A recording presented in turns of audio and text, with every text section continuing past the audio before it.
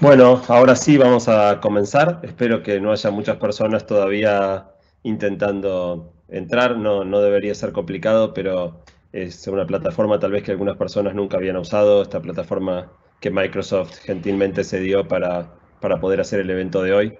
Así que están buscándole la vuelta. Estaba ayudándolos yo, pero ahora tengo que comenzar a hablar, así que bueno, tendrán que arreglárselas los que no, no haya podido ayudar hasta, hasta este momento. Igual tenemos en este momento 900 eh, personas conectadas eh, y supongo que el resto podrán irse agregando en el próximo rato. Em, empiezo por, por contarles, eh, bueno, por darles las gracias a todos los que se sumaron. Es para mí un, un honor y un privilegio que hayan querido destinar este rato a, a escucharme. Toda esta conferencia surgió porque cuando yo lancé el año pasado mi libro, Guía para sobrevivir al presente, Quise, eh, aparte de presentarlo en Buenos Aires, que es lo que hacemos la mayoría de los autores, eh, ir a muchas ciudades del interior a poder presentarlo. Entonces creé un formulario en el que la gente podía anotarse con mi compromiso de ir a las 10 ciudades del interior del país donde más personas tuvieran interés en, escucharme. Y se anotó muchísima gente en ese formulario y yo tenía planificado. Llegué a hacer el año pasado eh, tres viajes. Y finalmente me quedaban siete viajes para este año que con el tema de la pandemia no se van a poder hacer. Entonces decidí volver a escribirle a todas las personas que habían este, pedido que yo fuera a sus ciudades y simplemente ahora que están tan de moda las conferencias virtuales, invitarlos a que la presentación del libro se hiciera de esta manera. Así que en este momento hay personas de todas las provincias del país y personas del interior también, y cuando empecé a trabajar en esto se sumaron un montón de instituciones también a convocar para que más gente viniera. Voy a eh, nombrarlos ahora. Vieron los que hayan llegado un poquito antes, vieron la placa de agradecimientos, pero ahora voy a agradecerles específicamente. Entre las diferentes instituciones sociales y educativas están el Colegio Lincoln, el Colegio Aleteia, la Red Educativa Logos, el Colegio Franco Argentino, la Universidad Nacional de Jujuy, el Club Alemán en Buenos Aires, la Amrota Col, Parque Austral y Dorjadash. Y después varias dependencias de gobierno, eh, entre las cuales se cuentan el Ministerio de Educación de Jujuy, el Ministerio de Educación de Chubut y el Ministerio de Educación, Ciencia y Tecnología de Misiones, el Ministerio de Trabajo de Jujuy, las municipalidades de Goya, 3 de febrero y San Salvador de Jujuy y el ente eh, autárquico permanente. Así que bueno, gracias a toda esta gente que, armó esta convocatoria espectacular para que hoy eh, muchas personas puedan escuchar esta conferencia. La estructura de lo que vamos a hacer, yo voy a hacer una presentación que va a tomar unos 45 o 50 minutos y después ustedes pueden habilitar en esa pantalla a la derecha para hacer preguntas. Si lo habilitan ahora les va a aparecer una franja, pero no van a poder ingresar preguntas en este momento. La, eh, van a, voy a habilitar esa funcionalidad cuando la conferencia termine. Entonces voy a hablar estos 45 o 50 minutos. Cuando ese tiempo concluya, voy a habilitar la funcionalidad de preguntas. Todos los que quieran van a poder enviar preguntas. Como hay mucha gente, había más de 4.000 anotados, eh, no sé si voy a poder contestar todas, pero voy a hacer mi mayor esfuerzo por responder este, buena parte de las inquietudes que envíen. Para comenzar esta presentación, me gustaría compartir con ustedes una serie de fotos.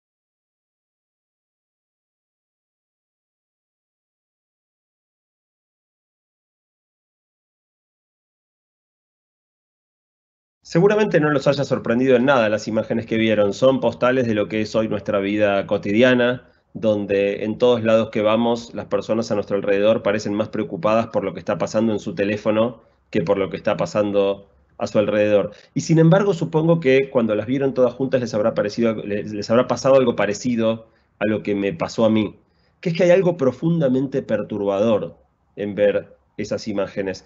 Y la pregunta que hace tiempo me ronda en la cabeza cuando veo este tipo de escenas es ¿qué está pasando? ¿Por qué estamos completamente obsesionados por los dispositivos digitales? Investigar esta pregunta fue lo que me llevó a las investigaciones que llevaron a este libro, Guía para sobrevivir al presente. Y la primera parada de esas eh, investigaciones me llevó a tratar de entender acerca de mecanismos de manipulación. Todo esto que está pasando no es casualidad. Como dijeron los famosos astronautas del Apolo 13, Houston, tenemos un problema. Y el primer lugar al que me condujo esta búsqueda fue a la Universidad de Stanford. Probablemente muchos de ustedes hayan escuchado hablar de la Universidad de Stanford. Stanford es la universidad tecnológica más importante del planeta y tiene una particularidad que es que está ubicada en el corazón del Silicon Valley. Esa S de color bordó con un arbolito en el centro es la ubicación de la Universidad de Stanford en Palo Alto, justo en el centro de, Silicon Valley.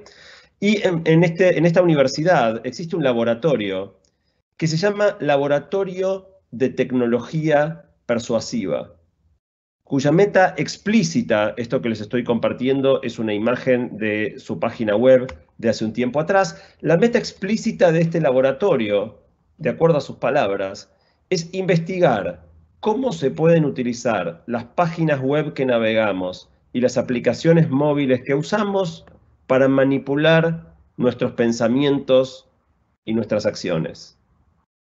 Voy a repetirlo cómo utilizar las páginas web y las apps para manipular lo que pensamos y lo que hacemos.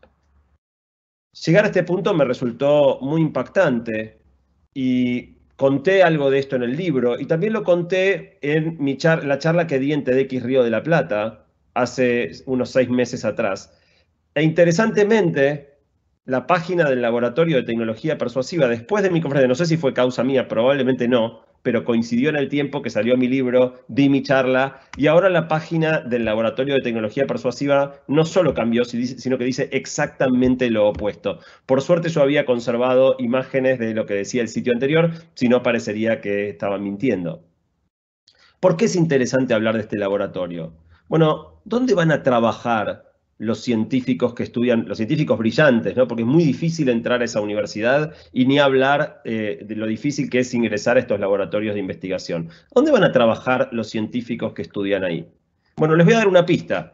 Si dijimos que Stanford quedaba ahí, Facebook queda acá, Google queda ahí, Apple queda acá, Netflix queda ahí, Electronic Arts queda ahí. O casualidad, el laboratorio donde se estudia cómo utilizar las aplicaciones móviles y las páginas web para manipular nuestros pensamientos y acciones, queda a 10 minutos de distancia de las compañías que fabrican la mayoría de las páginas web y las aplicaciones móviles que utilizamos. Por supuesto, estas compañías no son las únicas, hay muchas otras en esa región y en otras partes del mundo, pero la coincidencia no deja de ser sugestiva. En definitiva, la siguiente cuestión es entender nuestra mente. ¿Somos realmente manipulables las personas? ¿Se puede usar una página web o una app móvil para manipular nuestros pensamientos y acciones? Para eso tenemos que hablar un poquito de cómo funciona el cerebro. Porque intentar persuadir a las otras personas es tan viejo como el mundo. Pero todos los avances en eh, neurociencia, psicología experimental y economía del comportamiento están ofreciendo una nueva vía de controlar nuestros pensamientos y acciones a través de explotar ciertas vulnerabilidades de nuestra mente. Y de eso quiero hablar en esta parte. Una manera muy clara de verlo son las ilusiones ópticas. Seguramente muchos conozcan esta imagen que pueden ver ahí, eh, en la cual eh, seguramente, como todo el mundo, ven el cuadrado A más oscuro que el cuadrado B pero seguramente ya sepan que en realidad los dos cuadrados son exactamente iguales. Vamos a verlo en una animación. Ahí ven los dos cuadrados iguales. Y ahora vamos a construir gradualmente la figura. ¿Son iguales, iguales, iguales, iguales, iguales, iguales, iguales? Distintos. Vamos a repetirlo. ¿Ven los dos cuadrados iguales? Construimos la figura. ¿Son iguales, iguales, iguales, iguales? Distintos. No importa cuántas veces repitamos este proceso, no importa que ustedes sepan que los cuadrados son iguales, no hay nada que puedan hacer para verlos iguales como son. Nuestro cerebro los ve distintos. Y la pregunta es ¿por qué?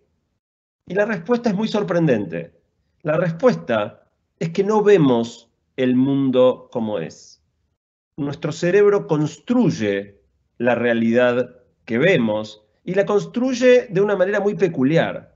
Nuestro cerebro no ve lo que es, sino que ve lo que le parece que tiene más sentido. ¿Qué está pasando en este caso puntual? Bueno, resulta que el cuadrado B está bajo la sombra de ese cilindro y entonces el cerebro razona, si el cuadrado B se ve igual que el A, pero el B está en sombra, debe ser que en realidad el B es más claro y está se lo veo más oscuro simplemente porque está ensombrecido. Y construye esta imagen donde ignora la información visual que recibe, no importa que los rayos de luz que estén entrando de un cuadrado y del otro sean exactamente de la misma frecuencia, exactamente del mismo color, sino que construye la imagen como el cerebro le parece.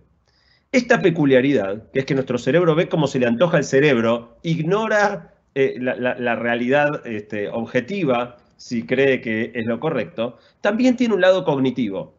Esto se conoce como sesgos cognitivos y son un montón de peculiaridades de nuestra manera de razonar, donde si nos enfrentan a cierto contexto, resolvemos mal, pero no mal en el sentido de, uh, me equivoqué. Resolvemos mal siempre enfrentados a esa situación, nuestra cabeza, igual que ve mal los colores y arma algo distinto que lo que tendría que eh, teóricamente armar, pasa algo muy similar. Les voy a poner un ejemplo. Imagínense que van al casino con 10 mil pesos. Juegan durante un rato y terminan con 20 mil. O sea, duplicaron el dinero. Entraron con 10 mil, salieron con 20 mil. ¿Van a estar contentos o tristes? Bueno, seguramente la mayoría de ustedes piense que van a estar contentos, pero la respuesta correcta no es esa. La respuesta correcta es depende. Supongan que entraron con 10.000 y empiezan a perder, perder, perder, perder, les quedan los últimos 500 pesos y en ese momento inician una remontada fenomenal y terminan con 20.000. Van a salir radiantes. Ahora imaginen otro escenario. Entraron con 10.000 y empiezan a ganar, ganar, ganar, ganar. Llegaron a tener 100.000 pesos. 100.000 pesos pero no pararon de jugar a tiempo y empiezan a perder, perder, perder, perder, y cuando tienen 20 dicen paremos acá porque lo voy a perder todo y se van con 20. En ese escenario, aun cuando salen con el doble de dinero del que ingresaron, una alta proporción de gente se va totalmente frustrada. Porque lo que importa no es solamente con cuánto entré y cuánto salí, sino contra qué lo comparo. Y lo comparo contra lo que pasó en el medio. Yo reproduje en una de mis columnas de radio este experimento, que es un experimento muy conocido de, un científico que se llama Daniel Kahneman, ganador del premio Nobel, y dio exactamente como les decía. En el primer escenario, los que primero pierden y después terminan ganando, 87% contentos, solo 1% sale triste con el doble de dinero. Pero los que ganaron primero y después terminaron este, ganando, pero mucho menos de lo que habían ganado. Hay prácticamente tanta gente que sale triste como gente que sale contenta. Una de cada cuatro personas sale triste a pesar de haber duplicado su dinero y solo, digo, 72% de la gente no sale muy contenta eh, en ese escenario. Bueno, hay montones de sesgos cognitivos como este que les imaginé. Esas letras chiquititas, chiquititas que ni deben poder leer en el círculo, eh, es, son todos los sesgos cognitivos que están identificados. Y estos sesgos cognitivos hacen fallar nuestra toma de decisiones. Como decía antes, cometemos errores, pero no errores en el sentido de un uh, me equivoqué, sino errores predecibles, errores sistemáticos, errores que una y otra vez que enfrentemos la misma situación, nos vamos a equivocar de la misma manera. Esto hace que la mente humana sea muy predecible. Y para quien conoce cómo funciona, poder diseñar situaciones donde nuestros ojos vean mal o diseñar situaciones donde nuestra mente decida mal. Les voy a poner un ejemplo rápido, les voy a poner ahora una lámina para que ustedes la miren y la lean.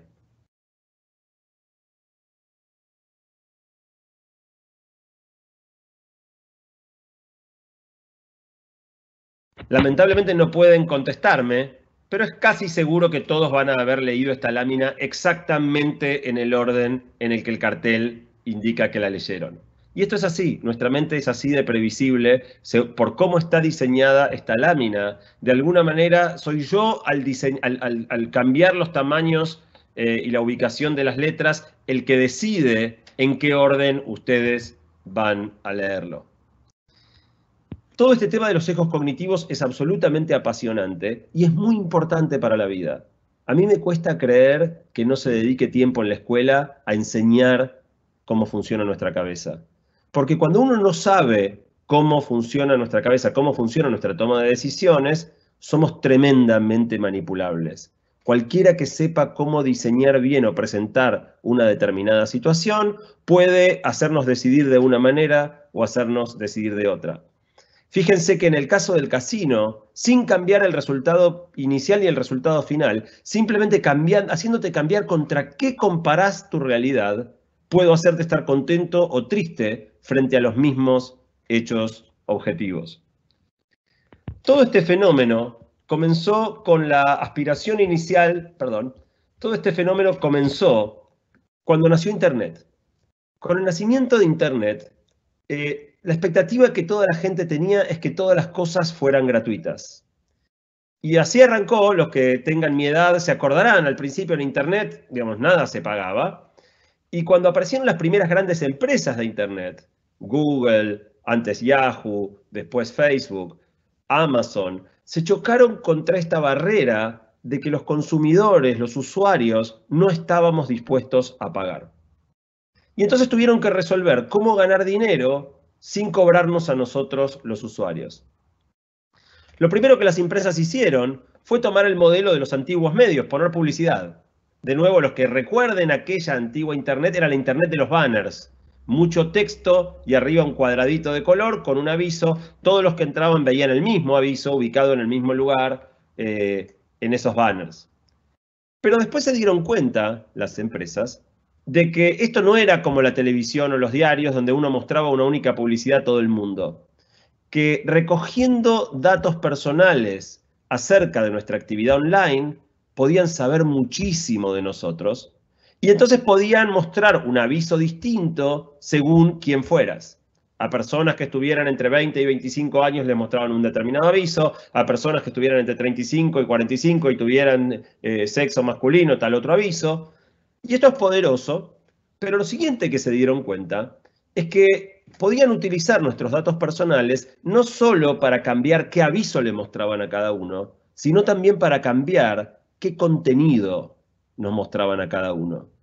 Y la segmentación del contenido es mucho más poderosa que la segmentación de la publicidad. Lo último que se dieron cuenta es que para maximizar sus ganancias necesitaban que pasáramos más y más y más tiempo en cada una de sus plataformas. Porque en definitiva, para poder mostrarnos avisos y cobrarle a los anunciantes, necesitan que estemos ahí con nuestros ojos sobre su pantalla y empezaron a utilizar la segmentación del contenido para tratar de maximizar el tiempo que pasábamos en cada aplicación. Así nació el hackeo de nuestra atención. En toda transacción comercial hay un comprador y un vendedor. Pensemos el uso de una red social, por ejemplo, Facebook. Cuando usamos Facebook, ¿quién es el comprador? Bueno, el comprador es el que paga. ¿Quién es el vendedor? el vendedor es el que entrega algo a cambio de ese pago. En el caso de Facebook, ¿quién paga? Bueno, pagan los anunciantes. ¿Y quién cobra y entrega un producto? Facebook. Bueno, ¿cuál es el producto que Facebook le entrega a los anunciantes a cambio de dinero? La respuesta, tal vez la habrán escuchado ya muchas veces, está un poco trillada. El producto sos vos, somos nosotros. Es nuestro tiempo, es nuestra atención. Es esa atención segmentada por edad, por sexo y por montones de otras variables lo que los anunciantes pagan para comprarle a Facebook. Nosotros somos el producto. O peor aún, nuestro tiempo, que es el recurso más escaso que tenemos. Para poder lograr estos fines, necesitan de nuestra ingenuidad. Cuando vamos a comprar cualquier producto, por poner un ejemplo, un par de zapatos, siempre tenemos cierta desconfianza. Entramos al negocio y nos preguntamos, ¿serán cómodos? ¿Serán de buena calidad y durables? ¿Me estarán cobrando un precio razonable? Pero cuando el producto que nos ofrecen es gratis, bajamos la guardia. Si el producto es gratis, deberíamos desconfiar el triple. ¿Por qué querría una enorme empresa multinacional gastar cientos de millones de dólares en diseñar una red social, una plataforma de videos, un sistema de correo electrónico, para dejar que nosotros lo usemos gratis? ¿Cuál es la trampa? Bueno, la trampa en realidad es que nosotros somos el producto. no somos los usuarios. Y seguramente muchos de ustedes ya sepan, por ejemplo, que cuando uno utiliza una plataforma de correo electrónico, te leen los mails. No es un secreto, están los términos de uso. Cualquier plataforma de correo electrónico que utilices autoriza a la, compañía que te da el servicio a leer el contenido de tus mails. No es que quieren saber nuestros secretos más íntimos, no, no les importan. Lo que quieren es adquirir información acerca de nosotros para segmentar la publicidad y para segmentar el contenido. Esto ocurre también, por supuesto, en las redes sociales. Cada vez que escribimos algo, damos un like, miramos una foto, todo lo que hacemos va dejando una huella digital que permite saber una enormidad acerca de nosotros. Incluso cuando uno investiga encuentra datos interesantes, como por ejemplo que cuando en Facebook escribís un posteo como este que están viendo en la pantalla y no lo mandás, te arrepentís y no lo mandás, no estoy diciendo que lo mandaste y después te arrepentiste y lo borraste. Nunca lo mandaste, lo escribiste, no apretás enviar y lo borras, Facebook lo guarda. Y yo creo que las cosas que querríamos decir y por alguna razón callamos son mucho más jugosas para conocernos íntimamente que lo que explícitamente decimos. El otro dato que seguramente muchos experimentarán cotidianamente tiene que ver con si nos escuchan. A todos nos ha pasado alguna vez hablar en una mesa, en una conversación acerca de un determinado producto o alguna determinada cuestión y encontrar después publicidades exactamente de aquello sobre lo que estuvimos hablando. ¿Nos escuchan realmente? Bueno, para contestar esto hay que separar tres cosas. La primera es lo que dicen las compañías. Las compañías afirman que no utilizan el audio de nuestras conversaciones para adquirir información acerca de nosotros. La segunda cuestión a tener en cuenta es que, en definitiva, yo voy a agarrar acá mi teléfono, no lo estoy tocando, lo estoy sosteniendo nada más, eh, pero, y ahí está, lo, voy a sostener. Si yo en este momento digo la palabra mágica, OK Google, automáticamente mi teléfono se va a prender. No solo se va a prender, sino que probablemente si está con volumen me va a contestar. Ahora el mío está sin volumen. Es muy probable que muchos de los teléfonos de ustedes se hayan prendido en el momento en el que yo dije esa frase. Como mi teléfono no puede saber en qué momento yo voy a decir la famosa frase, la voy a repetir ahora, ahora le subí el volumen para que sí hable. Voy a repetir, otra vez digo, ok Google, eh, mi teléfono va, ok Google, va a prenderse de nuevo, tal vez los de ustedes también. Pero lo interesante es que como el teléfono no puede saber cuándo... No te entendí. No me entendió. Eh, como mi teléfono no puede saber cuándo yo voy a decir la frase mágica, tiene que estar escuchando siempre. Es la única manera que cuando justo la dije, responda. Entonces, la segunda parte de la respuesta es, nuestros teléfonos están escuchando el 100% de lo que hablamos. Y la tercera cuestión es, ¿usan esa información? Las compañías dicen que no. Del otro lado está la experiencia de los usuarios, que todos hemos vivido alguna vez la situación absurda. De hecho, me pasó hace poco con, mi esposa. Mi esposa pisó un clavo con una zapatilla, por suerte no se lastimó, pero se dañó la suela del zapato y nos contó en la mesa que había dañado una zapatilla por pisar un clavo. Y al día siguiente mi hijo, no mi esposa, me muestra en Instagram una publicidad de zapatos con suela a prueba de clavos. Si eso es casualidad, eh, es una casualidad muy, extraña. En definitiva, eh, hay una investigación de la Universidad de Cambridge eh, que, donde hicieron un experimento que demuestra que Facebook nos conoce mejor que nuestros amigos y nuestra propia familia. Utilizando información de nuestra huella digital, Facebook puede predecir cómo es nuestra personalidad y ciertas cuestiones privadas con mejor precisión que nuestros amigos y familiares. ¿Para qué usan este conocimiento tan profundo que tienen acerca de nosotros? Bueno, el primer presidente de Facebook, John Parker, hace tiempo se convirtió en un arrepentido y contó las cosas como eran y contó que cuando estaban armando Facebook, en las reuniones, cuando eran unos pocos empleados, Mark Zuckerberg, John Parker y unos pocos más, el pensamiento usado, dijo John Parker, para construir estas aplicaciones era cómo consumimos tanto del tiempo y la atención de los usuarios como sea posible. Se estaba en la esencia del producto encontrar la manera de quedarse con nuestro tiempo. Y lo loco es que cuando el producto que las empresas venden es nuestra atención, nuestro tiempo, todas compiten contra todas.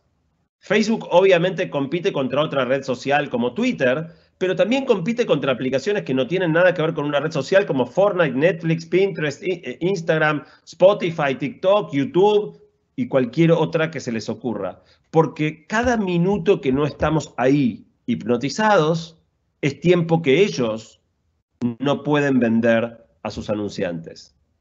Y entonces me quiero meter ahora con la cuarta parte, que tiene que ver con detallar un poco más acerca de cuáles son estos mecanismos de manipulación que las compañías utilizan. Hay una frase de Mark Twain que me encanta, que dice que es más, es más fácil engañar a la gente que convencerla de que ha sido engañada. Pero en definitiva, quizá el mensaje más importante que tengo para decirles el día de hoy es que esta escena, esta obsesión con los aparatos digitales, no es casualidad. Y las consecuencias se ven en todos lados. Padres que no escuchamos a nuestros hijos, hijos que no escuchan a, sus padres, reuniones en las que cada uno estaba más, está más pendiente de su teléfono que de lo que pasa alrededor, una dificultad cada vez más grande para concentrarnos y montones de efectos más individuales y colectivos. La clave de esto es que los dispositivos digitales son la primera herramienta que cuando la empezás a usar, te empieza a usar ella a vos. ¿Qué quiero decir con esto? ¿Qué quiere decir que el celular nos maneja? Bueno, los seres humanos somos muy buenos usando herramientas. Eh, si tomamos, por ejemplo, dibujar con un lápiz, nosotros podemos agarrar un lápiz, dibujar lo que queramos y cuando nos cansamos de dibujar, paramos. Cuando vos agarrás el celular, la cosa no es tan sencilla. Vos agarrás el celular, por ejemplo, para, no sé, mandarle un mail a un amigo, como agarraste el lápiz para dibujar cierta cosa, pero el celular tiene agenda. El celular no, no es como el lápiz que le da lo mismo lo que vos hagas y que pares cuando quieras. El celular quiere que hagas ciertas cosas, mejor dicho, las aplicaciones que corren dentro del celular quieren que hagas ciertas cosas que le conviene a cada una de las aplicaciones y por lo tanto tienen todo este esquema de notificaciones visuales, sonoras y de, vibración para intentar cambiar eso que íbamos a hacer. Si agarramos el teléfono para mandar un mensaje a un amigo, como agarrábamos el lápiz para dibujar un árbol, de repente el teléfono, Facebook quiere que hagas otra cosa, Facebook quiere que vayas a Facebook, YouTube quiere que vayas a YouTube, TikTok quiere que vayas a TikTok, Instagram quiere que vayas a Instagram. ¿Cómo lo hacen? Conociéndonos mejor de lo que nos conocemos a nosotros mismos, saben perfectamente bien cuál es la notificación que tienen que mandarnos para hacernos pisar el palito como un pez muerde el anzuelo. Si, por ejemplo, Facebook, eh, YouTube sabe perfectamente bien que me encantan los lanzamientos de cohetes. Si ahora estuviera la NASA por lanzar, como va a pasar dentro de unos días, el próximo cohete con una misión a Marte, si eso estuviera pasando ahora, YouTube sabe que si me pone eso ahí, yo voy a dejar cualquier cosa que estaba planeando hacer y voy a terminar mirando YouTube el lanzamiento del cohete. Facebook sabe que hay ciertas personas que cuando suben una foto, yo no quiero perderme la foto que subieron y me va a decir fulanito subió una foto eligiendo muy bien a quién, qué fulanito me, me menciona. Twitter sabe que hay ciertas personas que cuando ponen algo en Twitter o cuando se arma una pelea, yo voy a querer entrar y mirar qué está pasando en Twitter. Y así cada una de las plataformas. El objetivo de las notificaciones no es notificarnos, es interrumpirnos, es distraernos, es que dejemos de hacer eso que íbamos a hacer para ir a hacer lo que le conviene a cada una de las plataformas. Volviendo al ejemplo del lápiz, es como si cuando empezamos a dibujar con el lápiz, el lápiz empieza a tratar de cambiar qué es lo que vamos a dibujar. Queríamos hacer un árbol, pero el lápiz quiere que hagamos una casa y empieza a alterar nuestro pulso para que dibujemos lo que el lápiz quiere. Y el segundo efecto, porque la notificación busca pescarte, busca atraerte, pero el segundo efecto es todo lo que cada una de las páginas puede hacer para que una vez que entremos no podamos salir. Como si una vez que empezaste a dibujar, el lápiz no te dejara parar. Estoy seguro que prácticamente todos ustedes miran de vez en cuando videos en YouTube.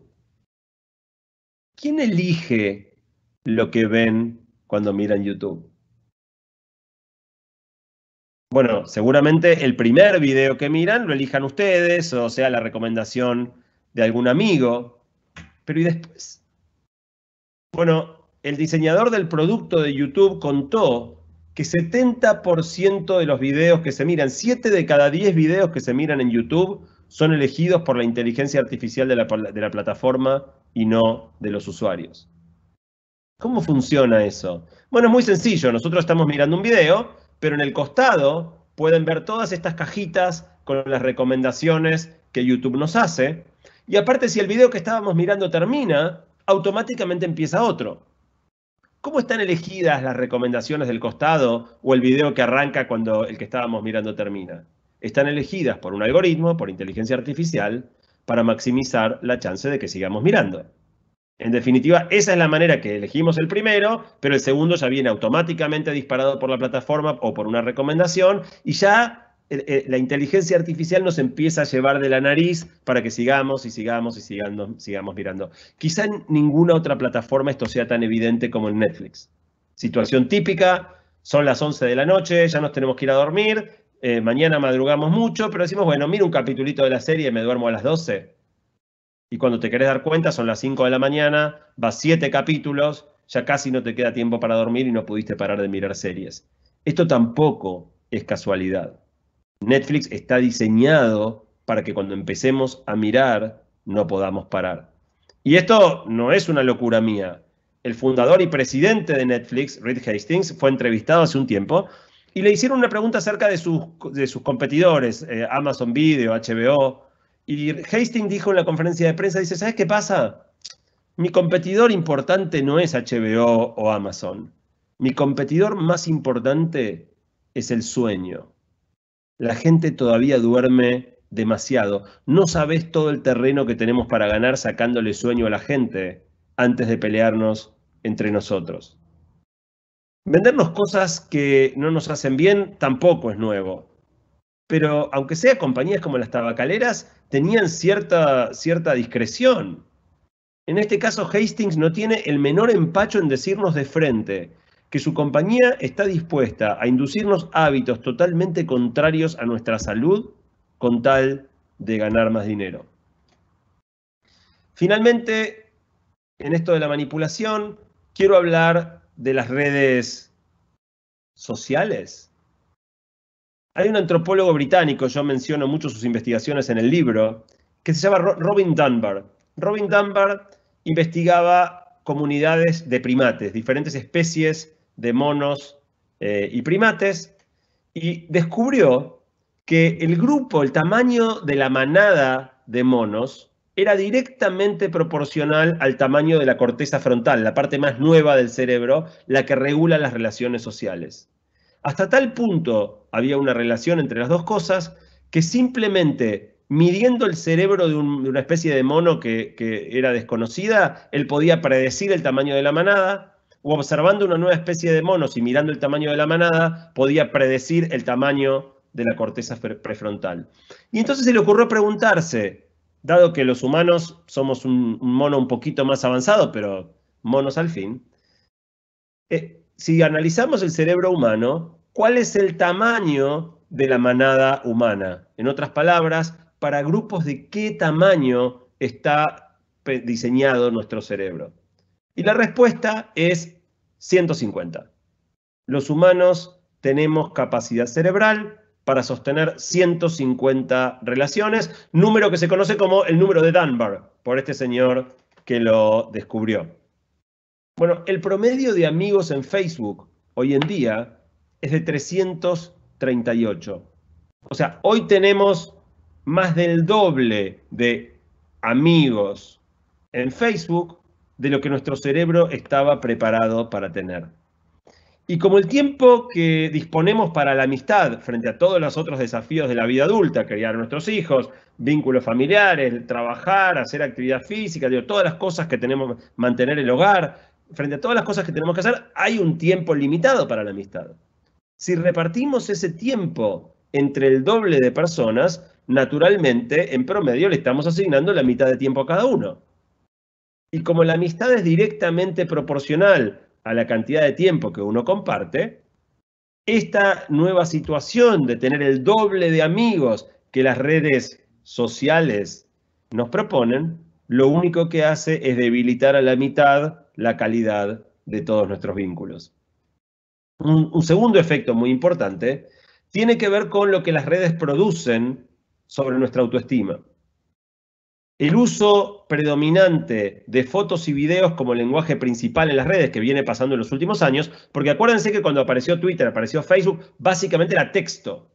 Y de a poquito la imagen fue ganando lugar, ganando lugar, ganando lugar, hasta llegar a redes como Instagram o TikTok, que lo único que tienen es imagen, foto y video, y no importa, a nadie lee ningún texto que le quieras poner a tu contenido. Bueno, la prevalencia de las fotos y los videos como lenguaje principal en las redes le dan una importancia absurda, absolutamente desproporcionada a la estética por sobre todas las demás dimensiones de nuestra persona, a los ojos de los demás y por lo tanto a la larga de nosotros mismos. ¿Cómo se transmiten otras virtudes? Ser una persona curiosa, interesada, culta, comprometida en una foto de Instagram. Lo único que importa es ser fotogénico y sacar una buena selfie. Las redes aprovechan esta fascinación que nos causa espiar las vidas ajenas e impactar a los demás con nuestra propia imagen para mantenernos indefinidamente cautivados. Y se agrega otro problema, que es que el contenido que subimos a las redes no es verdad. Lo que subimos a las redes es el mejor momento de nuestra semana, convenientemente tuneado con un filtro para que parezca 10 veces mejor de lo que fue. Es el contenido menos espontáneo del planeta. Y se los quiero mostrar con un video que circuló en las redes. Acá ven dos chicos, espero que se vea bien en la transmisión el video. Son dos chicos que están a punto de sacarse la selfie. Ahora voy a poner para que avance y vean lo que pasó después. Sacan la selfie y llega la realidad. Vamos a repetirlo. Selfie, realidad. En definitiva, para la selfie están sonrientes, cuando le están pasando mal. Le están pasando mal porque es una transmisión de un partido deportivo y su equipo está perdiendo 6 a 1. O sea, no están teniendo un buen día. Pero en la selfie, siempre sonrientes. En definitiva, decíamos antes en el ejemplo del casino, que algo es bueno o malo no en términos absolutos, sino en función de contra qué lo compares. Si lo que las redes nos están eh, proponiendo permanentemente son modelos de belleza totalmente inalcanzables, son situaciones que nunca experimentamos, es inevitable que estos puntos de referencia ficticios desluzcan nuestra propia vida.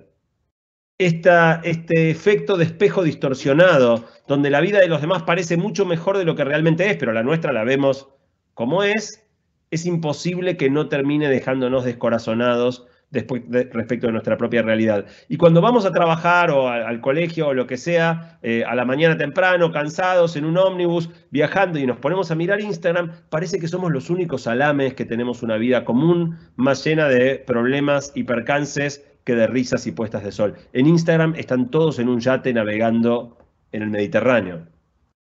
Para terminar este punto, hay un efecto tremendo de el esquema de seguidores y de me gusta.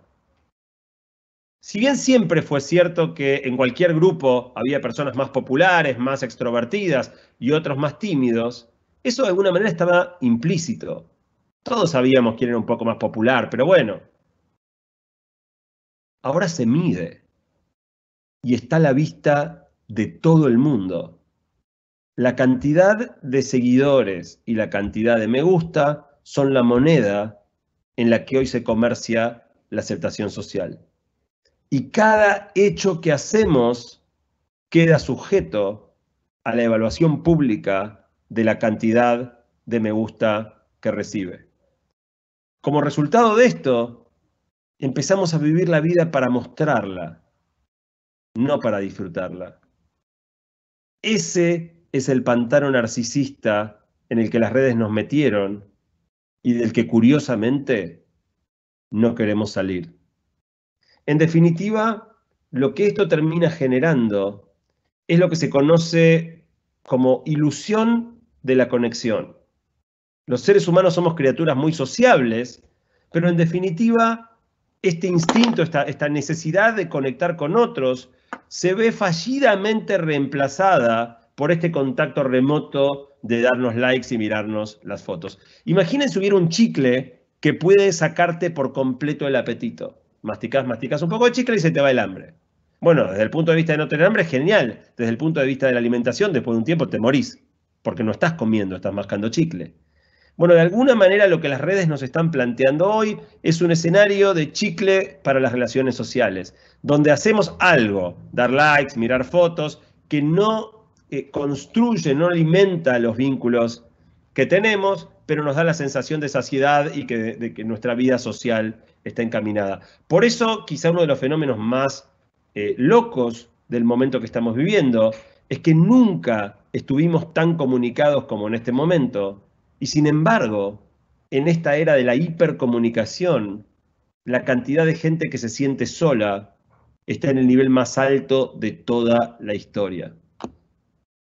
Yo no quería pasarme con el tiempo y entonces hay ciertas cosas que no voy a desarrollar en la conferencia de hoy, pero que están en el libro. Y como esta es una charla de presentación del libro, se las quiero contar rápidamente de lo que no voy a hablar hoy, pero que si alguno tiene ganas de leer el libro va a encontrar ese material. Hay un impacto enorme también de las redes sociales y los dispositivos digitales en todo el mundo de las citas.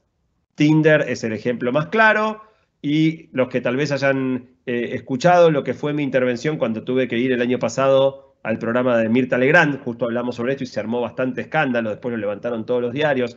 Eh, es bastante escandaloso lo que pasa detrás de escena en, Tinder y las aplicaciones de citas. Todo otro capítulo que no voy a desarrollar hoy, pero también es fascinante, es el efecto de los videojuegos. Los videojuegos también están diseñados para producir un efecto adictivo y que los chicos, y no tan chicos, no puedan parar de jugar. Quizá el ejemplo más impactante de un videojuego que generaba un efecto tremendamente adictivo de pibes que no podían parar ni para ir al baño, ni para comer, haya sido el Fortnite los últimos años.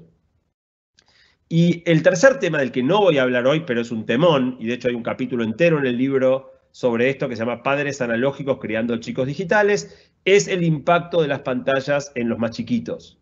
Este es un tema eh, tremendo, de una relevancia enorme, eh, en el cual no voy a profundizar hoy de nuevo eh, por un tema de tiempo, pero que en el libro está muy desarrollado con un capítulo entero respecto de eso y respecto de cómo podemos los padres y las madres acompañar mejor a nuestros hijos en su vida digital. Les dejo también como sugerencia para los que quieran, yo de todas estas cosas aparte del libro, tengo hechas muchas columnas, muchas columnas que están en mi podcast, eh, les pongo acá algunos ejemplos. Mis podcasts están en Spotify, con lo cual pueden ver, porque hay un capítulo que es los chicos y las pantallas en los primeros dos años. Hay un capítulo que es las aplicaciones de citas y el amor en, algoritmos. Hay un capítulo que es los videojuegos y el boom del Fortnite. Y hay toda otra parte que tiene que ver con la parte final del libro, em, donde eh, el, último capítulo del libro eh, de lo que habla es de cómo buscar, cómo aprovechar todo lo que la ciencia aprendió en los últimos años para ser mucho más efectivos en la búsqueda de nuestra felicidad. También tengo dos episodios en el podcast que cubren buena parte de ese contenido. Mi podcast está en Spotify, es lo que les mostré ahí, pero también está en Google Podcast, en Apple Podcast. No tiene publicidad, es gratis. Todos los que tengan ganas de, escucharlo pueden hacerlo ahí. Y por último, antes de ir al cierre de la charla, en agradecimiento a todos los que se han sumado, me gustaría dejarles un pequeño obsequio que es este, un, para si alguno se tentó y tiene ganas de tener el, libro, eh, más en este momento de cuarentena donde no conviene comprarlo este, en la calle, esa es la dirección de mi página donde se puede comprar. El precio es el mismo en todos lados, el precio oficial en la Argentina, el precio de los libros está regulado, así que en todos lados sale lo mismo. No puedo dar descuentos por esa razón, pero sí les dejo acá, para si alguno se tentó y quiere tener el libro, un cupón de envío gratuito para que no tengan que pagar el envío. El, el el código del cupón es julio 2020, es válido hasta fin de mes, o sea, tiene tres días más de duración. Si alguno tiene ganas de tenerlo, con eso, digamos, al precio mismo que sería en la librería, sin pagar por el envío, pueden tener un ejemplar del libro. Vamos ahora al cierre de esta charla. Vayan pensando sus preguntas. Apenas termine esta última sección, voy a habilitar la sección de preguntas para que puedan este, incorporar las que quieran. En muchos sentidos, estamos viviendo en el futuro. Estamos a muy pocos años de que haya autos autónomos que se manejen solos por nuestras, por nuestras calles, hay inteligencia artificial en prácticamente todos los productos que usamos, y sin embargo, el uso principal de las tecnologías más avanzadas como la inteligencia artificial en este momento está yendo a controlar nuestro tiempo y hacernos mirar más avisos, pasar un tiempo desmesurado en las plataformas y comprar cosas que no necesitamos. Hoy estamos usando las tecnologías más avanzadas en contra de nosotros los usuarios. ¿Y saben qué? Se va a poner peor. Porque todavía estas compañías siguen encontrando más y más maneras de hacer aún más efectivos sus sistemas de inteligencia artificial y sus algoritmos para seguir controlando nuestras decisiones y nuestro uso del tiempo. El problema más grande igual lo tenemos los usuarios. El problema es que todavía no hemos entendido este problema.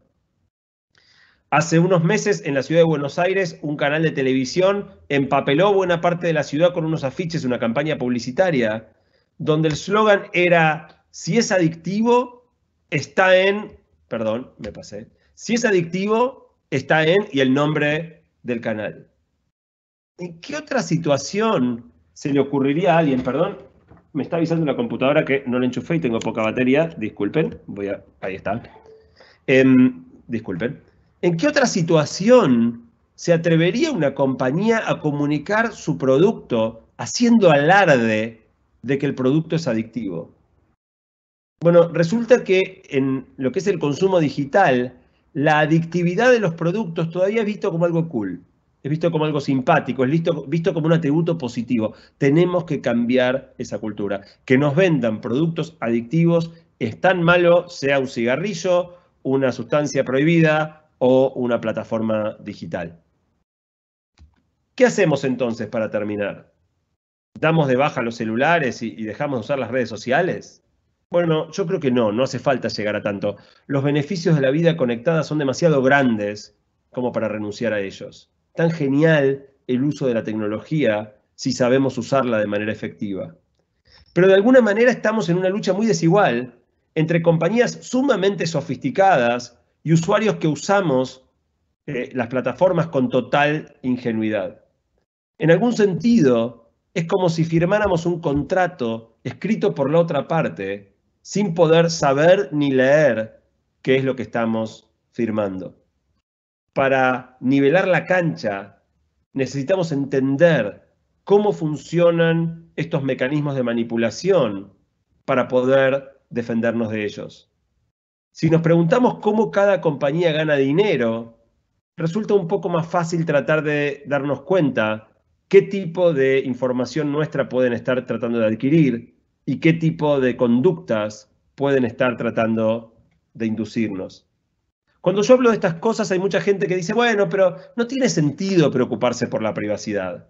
Después de todo, si yo, por ejemplo, hago una búsqueda o hablo con un amigo que de que quiero ir a Brasil y me empiezan a mostrar todas publicidades de hoteles y pasajes a Brasil, me están ayudando si yo tengo que ir a Brasil. Bueno, no es tan sencillo. Cuando alguien tiene tanta información acerca de vos, es muy probable que pueda usarla en tu contra sin que lo sepas. Hace un tiempo se descubrió que la principal aplicación para pedir viajes de autos, remises, Uber, se chequeaba el nivel de batería que le quedaba a tu celular para cobrarte el viaje muchísimo más caro cuando te quedaba poca batería. Eso es una manera inteligente, pero poco aceptable, de usar la información que tienen acerca de nosotros en su beneficio y en nuestra contra. Por eso es fundamental entender cómo evolucionan estas estrategias, porque aparte van cambiando continuamente. Para cerrar ahora sí, porque no me quiero pasar de los 50 minutos que había dicho, tres recomendaciones que para mí son muy, muy importantes para manejar mejor esta situación. La primera es desactivar todas las notificaciones del teléfono.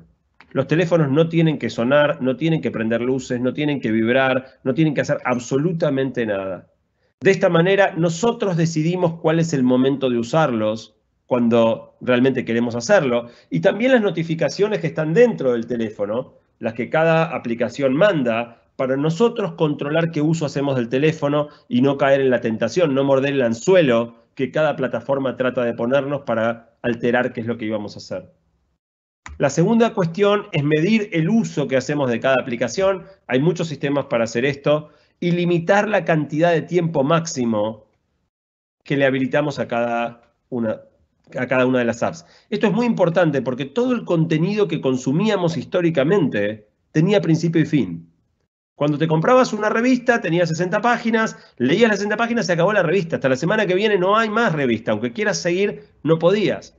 Si tu programa favorito estaba los lunes a las 10 de la noche, terminaba a las 11. Y aunque quisieras seguir mirando, hasta el próximo lunes a las 10 de la noche no había más programa. Ahora, siempre hay una foto más en Instagram. Siempre hay un tweet más en Twitter. Siempre hay un post más en Facebook. Siempre hay un video más en YouTube.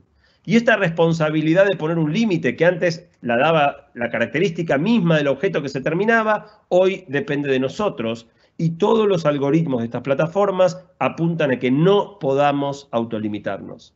Por eso es muy importante reintroducir un límite externo en la forma de un límite de tiempo que nos haga parar en algún momento.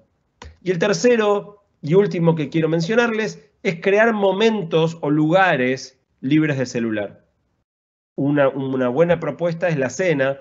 Yo trato en, mi propia casa todos los días de que mis hijos no lleven los celulares a la mesa. No es una batalla que haya ganado todavía. Una aclaración importante. Este libro, Guía para sobrevivir al presente, no es el libro de alguien que la tiene clara y te cuenta que vos sos un gil, que no sabe cómo controlar, pero yo les voy a contar porque yo ya resolví todo. Yo tengo el mismo problema que tienen ustedes y desde ahí habla el libro. El libro es de alguien que está exactamente inmerso en todos los mismos desafíos de los que estuve hablando en esta última hora y que seguramente ustedes también comparten. Para concluir, la tecnología es una herramienta genial si la sabemos usar bien y con mesura. En definitiva, el desafío que tenemos es recuperar el control sobre nuestras vidas para disfrutar todos los beneficios de la tecnología sin quedar atrapados en ella aprovechar esta increíble supercomputadora que cada uno lleva en el bolsillo para crear, no simplemente para consumir. Utilizarla para vivir experiencias compartidas en vez de quedar cada uno atrapado en su propia pantalla. En definitiva, el desafío es poner las plataformas y los dispositivos al servicio de la vida que queremos vivir y no de la vida que a otros necesitan que vivamos. Muchísimas gracias, espero que hayan disfrutado de esta presentación. 50 eh, minutos tardé como había prometido. Espero ahora que tengan preguntas y estoy a su disposición para responderlas. Voy a cambiar la presentación de la pantalla eh, para que me puedan ver la cara un poquito más grande y voy a habilitar la funcionalidad. Ah, veo que ya estaba habilitada, veo un montón de preguntas este, que ya han, mandado. Así que bueno, voy a empezar a mirar algunas de las preguntas y muchos preguntando si había empezado, no sé qué, pasó. Ah, bueno, porque no había empezado, porque empezamos un poquito después. Son, son las de las 7 en punto y, empezamos 7 y 7 minutos, así que con eso tiene que ver las preguntas. Voy a buscar, voy a elegir al azar, la verdad, porque no puedo leerlas todas. Eh, alguien pregunta si es posible volver a ver la charla. Eh, la charla lamentablemente no está siendo grabada, eh, así que no, no, no, va a quedar para verla en otro momento. Si hubiera, finalmente había 4.000 anotados y hubo 1.000 personas, hubo 3.000 personas que se anotaron y no vinieron. Me pregunto si es que simplemente se olvidaron o, o les surgió algún compromiso o si es que no pudieron entrar por alguna razón. Si llegara a ser el caso que muchas personas quedaron con las ganas de ver la conferencia y no pudieron verla, eh, vamos a hacer otra. No tengo ningún problema en poner una nueva fecha. Así que si llegan a saber ustedes de muchas personas que, mm, que, hubieran querido estar en esta presentación, que se anotaron y por alguna razón no, pudieron, me avisan por, cualquiera de las redes y puedo organizar una nueva fecha. Acá alguien pregunta, ¿la manipulación de las redes tiene relación directamente proporcional con la calidad de la, educación? Por ejemplo, la carencia de lectura comprensiva. A ver, em, yo no entiendo que en la escuela no se enseñe a los chicos cómo funcionan, lo decía cuando hablé de los sesgos cognitivos, no entiendo que no se enseñe a los chicos cómo funciona nuestra mente, cómo, eh, podemos, eh, cómo funcionan los mecanismos de manipulación, cuál es el sentido de las redes. Eh, hay una, metáfora que yo uso en el libro que a mí me gusta mucho, que es cuando los chicos van a salir por primera vez solos a la calle. Cuando llega la edad en que los chicos salen por primera vez solos, a los 12, 13, 14 años según la familia, eso ocurre después de 12, 13, 14 años de recorrer el espacio público de nuestra mano, con la supervisión de un adulto. Y aún así, cuando llega el momento de salir por primera vez, les damos un montón de explicaciones. Mirá, si viene alguien a regalarte algo, no lo aceptes. Si, te habla un desconocido, la senda peatonal, todo un montón de explicaciones para que los chicos estén seguros cuando empiecen a transitar el espacio público. Pero los dejamos salir a Internet sin ningún tipo de acompañamiento y sin ningún grado de explicación. Eso es una locura. Es como si dejáramos a nuestro hijo, y, esto arranca desde los 18 meses, el uso intenso de pantallas en los chicos, en algunos casos incluso desde antes. Es como si dejáramos a nuestros hijos de 18 meses solos en la vereda, sin ninguna explicación, eh, dejarlos usar Internet sin ningún tipo de acompañamiento, ni supervisión, ni explicación de los adultos. No voy a profundizar en esto porque dije que no iba a hablar tanto de la parte de pantallas y chicos, pero yo creo que definitivamente sería espectacular que las escuelas le enseñaran a los chicos para qué sirve eh, Facebook, para qué sirve Instagram, para qué sirve TikTok, cuáles son los riesgos de cada plataforma, cuál es la manera correcta de utilizarlo. Hay muchísimo para enseñar de eso. El mayor problema es que la mayoría de los adultos, incluidos los docentes, no, sabemos de esos temas. Entonces es difícil que los enseñemos cuando nosotros mismos eh, son temas que no, no los manejamos. Sigo mirando. Alguien dice excelente y muy didáctica la presentación y pregunta si el libro se encuentra como audiolibro. La respuesta es sí. El libro está en papel, está en ebook y está en audiolibro. Y tiene una, particularidad del audiolibro que es que lo leí yo. No sé si eso es bueno o malo, pero como yo hago radio hace muchos años y hay, hay gente que me conoce más por mi voz que por mi cara, me pareció que era lindo eh, leer yo el audiolibro. Es un trabajo chino, pero lo hice. Así que si alguien tiene ganas de, comprarlo en audiolibro, yo no lo puedo vender yo porque eh, no, está permitido. Se compra en, el Play Store o en, Amazon o en, Apple, pero si alguno quiere el audiolibro, lo va a escuchar leído por mí si es que eso suma algo. Eh, alguien está diciendo acá que el libro lo está leyendo y le encantó, que le falta el último capítulo. El último capítulo es el más lindo de todos, desde mi opinión personal, así que no te pierdas el último capítulo. Gente mandando mensajitos lindos que felicitan. Alguien dice, ¿cómo podemos ser para enfrentar el futuro cercano sin permitir que seamos tan dominados por la tecnología? Eh, bueno, yo creo, mi, gran apuesta, porque muchas veces se habla de la regulación, ¿no? Como salida, que los gobiernos le prohíban a las compañías, y yo no creo en la efectividad de los gobiernos para controlar esto. Yo honestamente creo en el poder de los usuarios. Creo que si entendemos mejor cómo funcionan las plataformas, qué tipo de mecanismos de manipulación aplican, qué tipo de información nuestra capturan, yo creo que podemos nivelar la cancha. Y con una, no sé si se acuerdan la foto de la cancha desnivelada, ¿no? Con la cancha nivelada podemos ganar o perder.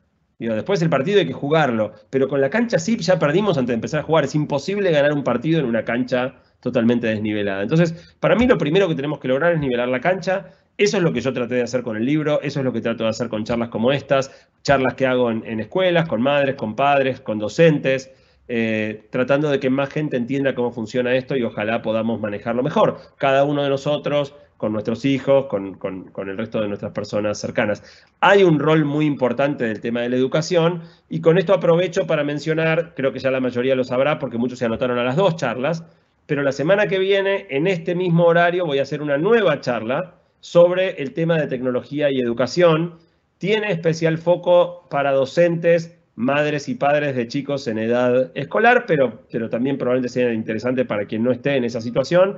Eh, los que ya se hayan anotado, fantástico, los voy a ver dentro de una semana. Los que no se anotaron, si quieren hacerlo, pueden todavía hacerlo en el mismo link que se habían anotado para esta charla. Sigo mirando preguntas. Alguien pregunta qué medidas tomar tomo en la vida cotidiana para regular el uso de redes. Hago lo que les dije. Mi teléfono no tiene ningún tipo de notificación ni sonido, no vibra, no prende nada, solo se prende cuando yo lo, convoco, no tengo notificaciones adentro, Em, y tengo limitado, a ver, voy a ver si les puedo mostrar esto, la limitación de tiempo. Fíjense, a ver cuál puedo buscar acá. Eh, por ejemplo, a ver. Acá pueden ver cuánto tiempo me queda. Ay, está, invertido. Hoy me quedan 58 minutos de Twitter. Mi límite es una hora, así que lo usé nada más dos minutos. Hoy estuve todo el día trabajando en la preparación de esta charla, contestando mails y todo, así que casi no usé redes el día de hoy, pero ahí pueden ver como para cada aplicación yo tengo un límite de tiempo. Em, y eso es muy importante. Eh, y no saben la cantidad de días que se me acaban. Son las 4 de la tarde y se me acabó Instagram o se me acabó Twitter. Instagram es la red que más uso actualmente. Eh, y se acaba. Y está genial que se acabe. Aunque más no sea porque me obliga, si quiero seguir usando redes, a usar algo distinto. Y tener una dieta digital variada también es muy importante. No es solo cuánto usas, sino cómo repartís lo que usás eh, y qué tipo de cosas usás. No es lo mismo estar mirando videos educativos sobre este, las, orcas y las ballenas en el Atlántico Sur que estar mirando coreografías en TikTok todo el día o, bloopers de personas que se patinan y se resbalan y se rompen la cabeza. Digo, Internet está lleno de contenido muy variado, algún contenido es contenido chatarra, como la comida chatarra, y en definitiva, digamos, nuestra mente se forma del contenido digital, que así como nuestro cuerpo se forma de lo que comemos, y si comes comida mala, tu cuerpo se termina enfermando, nuestra mente se arma con el contenido digital que, que consumimos y es muy importante elegir bien el tipo de contenido que usamos. Veo, a ver qué más. Alguien dice, a nivel educativo se está planificando el Ministerio de Educación resolver los temas planteados. Bueno, me lo cuentan, me interesa mucho saber qué tipo de, mm, iniciativas hay. Yo no conocí muchas todavía, pero acá hay una interesante. Celina pregunta, volviendo a la frase de Mark Twain, ¿cómo convencemos a nuestros adolescentes de que están siendo engañados? Y me agradece por la charla. Eh, mira, te voy a contar algo que me pasó. El año pasado me convocaron de dos escuelas a darle charlas a chicos de primaria por la preocupación que la escuela tenía respecto de la cantidad de, chicos que estaban yendo a la escuela con muy poco descanso por un uso excesivo de YouTube, Instagram, Fortnite em, y, TikTok y todas las redes. Y entonces me convocaron a hablarle a los chicos, yo di una charla y les expliqué algo bastante parecido, no muy distinto a lo que conté hoy. Y los chicos lo entienden perfecto. O sea, cuando vos le explicás a los chicos que los están manipulando y les explicás el por qué y les vas dando toda esta explicación, le contás cómo funcionan los videojuegos que en realidad están arreglados y, los manipulan también, los chicos se indignan. Los chicos se dan cuenta de que están siendo manipulados, de que los están engañando y, de hecho me pasó varias veces reacciones divertidas de, madres o padres que me escriben después diciendo, no sabes, mi hijo no quiere, estar furioso, no quiere usar más los videojuegos, no quiere usar más las redes. Es muy importante hablar con los chicos de esto. O sea, realmente, si bien explicado, lo recontra pueden entender, solo que en general no reciben información sobre estos temas y, es muy importante que la reciban. Eh, alguien pregunta si creo que es bueno pensar en uso de dispositivos móviles para la educación superior. La respuesta es definitivamente sí, pero voy a profundizar mucho más en esto. Justamente es un tema de la charla de la semana que viene, que es tecnología y educación, así que no voy a profundizar hoy en eso. Acá Elizabeth pregunta si podemos hacer algo para que los países regulen el uso de la información que se saca de nuestros celulares. En Europa se hizo mucho, en California se está haciendo bastante, en otras partes del mundo no. Em, yo descreo mucho de la posibilidad real de las autoridades gubernamentales para regular las compañías de tecnología. Y el mejor ejemplo para ver esto es lo que pasó cuando el Congreso de Estados Unidos llevó a Mark Zuckerberg, el fundador de Facebook, a testificar. Si miran la filmación de esa sesión, es un papelón, es un papelón. Se nota que todos los diputados y senadores están leyendo preguntas que ellos no escribieron, alguien se las escribió para que las digan, no entienden nada de lo que están preguntando, o sea, dicen unas palabras que no saben ni qué quieren decir, no pueden repreguntar porque no entendieron ni la pregunta que hicieron ni la respuesta que recibieron, y Mark Zuckerberg se mata de risa de las estupideces que le preguntan, sabiendo que absolutamente nadie lo puede poner en aprietos porque nadie entiende la realidad del problema por el cual lo están convocando. Eh, así que, de nuevo, yo soy escéptico, no creo que haya mucho que podamos hacer por el lado de, la regulación. Creo mucho más en, cambios desde los usuarios, en limitar el tiempo, sacar las notificaciones, ser más inteligentes, explicarle mejor a los chicos, meter esto en las escuelas. Creo que hay un montón de cosas que podemos hacer para nivelar la cancha. Em, alguien pregunta si puedo dar ejemplos de empresas o anuncios que muestren el buen uso y que destaquen lo positivo y no lo adictivo. En general, em, hay muchas empresas, cuando la empresa te cobra, y la excepción es Netflix, Netflix te cobra igual te sacude, pero en general cuando la empresa te cobra, no tiene incentivo necesariamente a aplicar este tipo de técnicas de manipulación. Eh, y entonces cuando son productos pagos, es bastante más probable que el producto esté pensado para alinearse a las necesidades del usuario y no para hacerte hacer cosas que no, te convienen hacer, pero para que la compañía facture. Entonces, un buen indicador, yo siempre para mí hay una, frase en inglés, que es, en inglés que es follow the money. Fíjate dónde se mueve la plata y eso te va a guiar a qué puede estar pasando. Entonces, entender cuál es el negocio de cada app te facilita mucho entender dónde puede haber las trampas o dónde en realidad no hay trampa. El negocio es que vos pagues y para eso te tienen que dar un buen producto que vos estés dispuesto a pagar. Alguien pregunta qué puedo decir acerca de los llamados influencers y la transformación de la TV hacia plataformas como YouTube. Eh, hay dos temas grandes ahí. Eh, uno es el de los influencers y otro el de, el de la migración de la tele. El tema de los influencers a mí me preocupa mucho.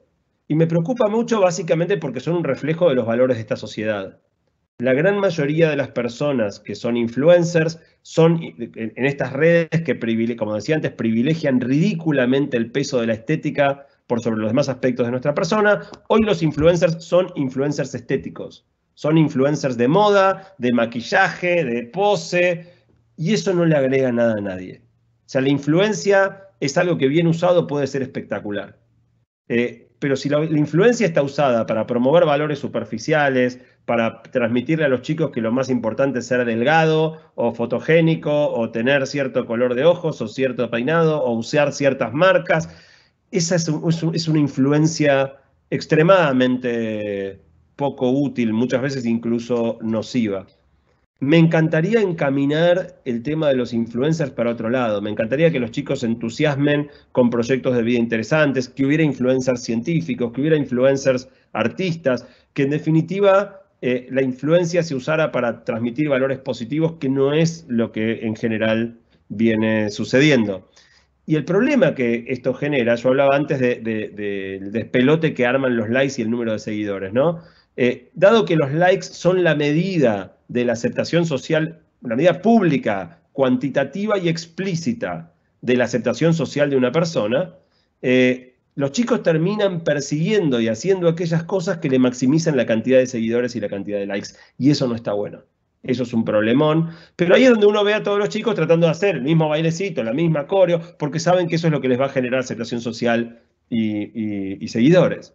Y tenemos que tratar de cambiar, desde mi punto de vista, algo de los valores que mueven a todo esto. Que los chicos sigan a las personas por las cosas interesantes que dicen y no por la estética que promueven. Que, también puedan asumir que los seguidores, bueno, yo quiero ser quien soy y si eso no me genera este, tantos seguidores, prefiero ser leal a mí mismo que estar impostando algo todo el tiempo para parecer lo que no soy y conseguir más seguidores. Pero entiendo que es un tema súper difícil, es un tema para trabajarlo mucho con los chicos. No, no es fácil en esa edad especialmente eh, justo alguien acá decía lo mismo, un Instagramer distorsiona el modelo de sociedad que debería fomentar el estudio y el trabajo. Sí, justo estaba diciendo algo muy, muy parecido. Una docente habla de la preocupación por la privacidad de los datos de los alumnos. Es un temón de los alumnos, de los docentes, de los padres de los alumnos y de todos. Eh, el tema de, privacidad y uso de los datos es uno que no, no profundicé tanto en el libro y en el que estoy empezando a trabajar ahora. Probablemente voy a tener alguna conferencia sobre eso en algunos meses porque estoy empezando a investigar fuerte el, el tema. Valeria pregunta cómo lograr el equilibrio ahora cuando los chicos están conectados por obligación. Los chicos y los adultos, todos estamos conectados por obligación.